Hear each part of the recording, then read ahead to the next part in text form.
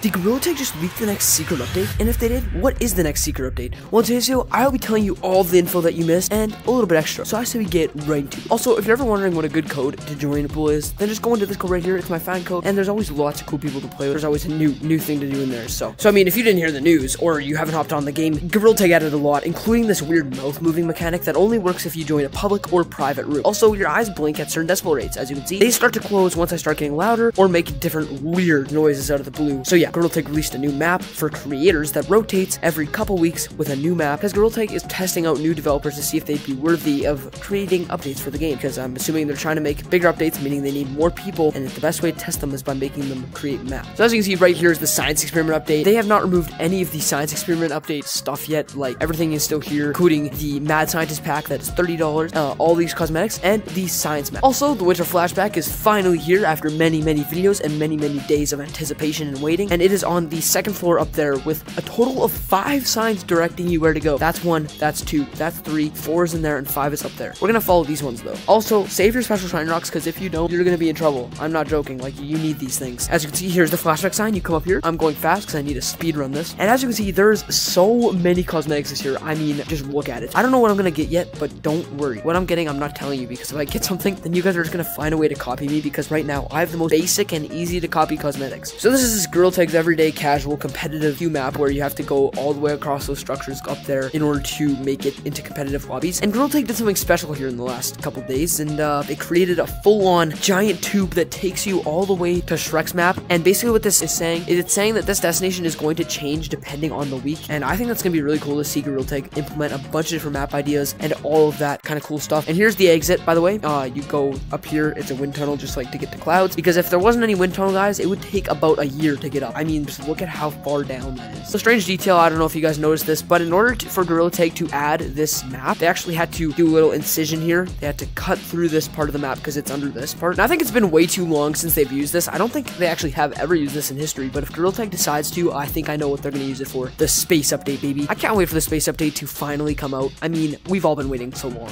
When was the last time a rocket launched on my video? I don't think it's been ever. If this rocket launches on my video, I'm going to be a happy, happy man. But for now, we can just hope and wait. Now for the beef and potatoes of this video. So yesterday, when I finished my video, I was walking into forest and I noticed something a little out of the ordinary. It was this giant obnoxious crack with air spilling out of it by the second, and it looks like it's starting to get more cracked. And I don't know how often it's going to happen. I think every two weeks this crack is going to be getting bigger. And once it gets big enough, I think I know what's going to happen. It's going to expand to the point where we can jump down and it'll be a secondary expansion of caves and it'll be mines. Imagine if they actually finally bring mines back. I mean, I've been waiting for mines for a while. They never bring mines back. They just revamped caves. That was it. And it made me very sad because mines was one of my favorite maps of all time. It was kind of horror-esque if they do bring mines back. They're going to release horror mode. So it's a bunch of ideas that fit into one here, kind of combining a big snowball of, of ideas right here and throwing it right at this ice crack. Also, don't worry guys, Doug the Bug is not dead. Uh, that was just a troll by, I don't know, one of the team members who made that map. Well, that wasn't very funny, okay? That was sad. Doug the Bug's one of my favorite bugs, so. Also, I don't know, why I'm always going in awkward positions to end the video. I'm currently under the slide and you guys are looking at me. I like this new movement. I said I didn't in the last video, but I like how you can see how fast I'm talking, and I'm talking extremely fast. So I hope you all did enjoy this news update video. I hope you learned something new about it. That's just a theory, a Gorilla Tag theory. And uh, I will see you all in the next one. So I hope you all enjoyed this video. And as always, I will see you all later.